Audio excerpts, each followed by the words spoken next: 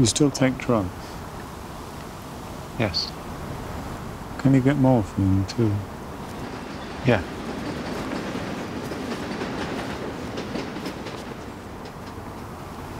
Is it difficult?